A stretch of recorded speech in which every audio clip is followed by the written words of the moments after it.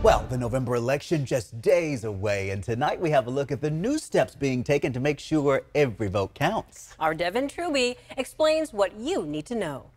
All through October, ABC 10 led a voter engagement project, hearing from you at community events and online. One of the top concerns, election security.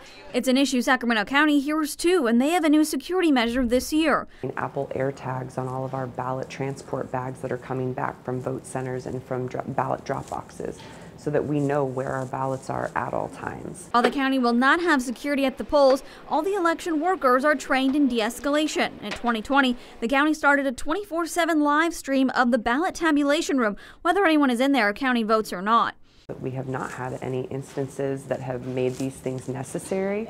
Rather, rather we're responding to what our voters want from us, and we're trying to be accommodating um, in addition to very transparent about our processes. And when voters do cast their votes, according to Adam Probolsky, president of Probolsky Research, a nonpartisan pollster, there is one major issue that's driving which candidates and propositions get the vote the issue of homelessness is pervasive in this election. And they don't care whether you're running for uh, water district or you're running for for congress or, or or governor. They want you to fix the homeless problem. That is Cal- the, the the plague of california right now and they want them gone. Pollsters are not expecting record turnout but inflation jobs and abortion will be hot button issues and keep in mind, you can take tours of the county voting office on Wednesday and Thursday between 11 a.m. and 2 p.m.